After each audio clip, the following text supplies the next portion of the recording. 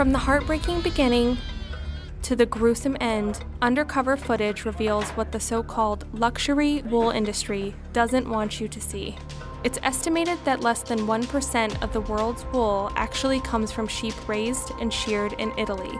For example, at least 30% of wool produced in Chile is sent to Italy. Yet some companies sell so called Italian wool that covers up the cruelty involved in its production.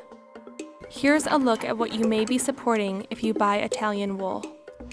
Shortly after lambs are born on these farms in Chile, they are separated from their mothers. The mothers bleat in distress at being separated from them.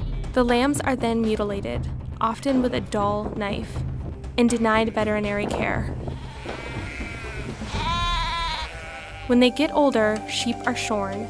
Here, they are handled so roughly that they often end up with gaping wounds and covered with blood. Sheep are stepped on, hit, and kicked by workers.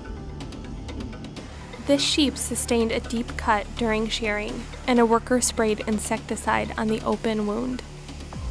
After they'd been used up, sheep were marked with paint so the workers would know which ones to send to slaughter.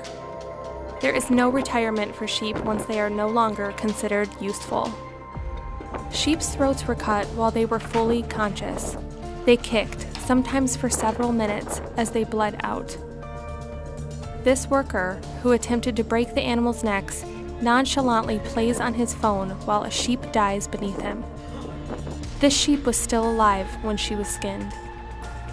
This is what you may be supporting if you buy Italian wool.